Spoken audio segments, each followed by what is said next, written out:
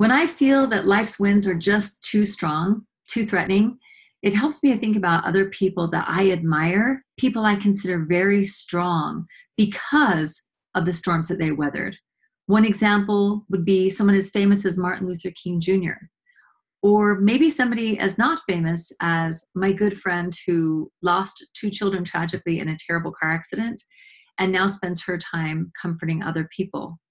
And of course, my favorite example is the Savior. I try to remember that the Lord is trying to turn me into a strong, unbendable force for good through the storms that I weather.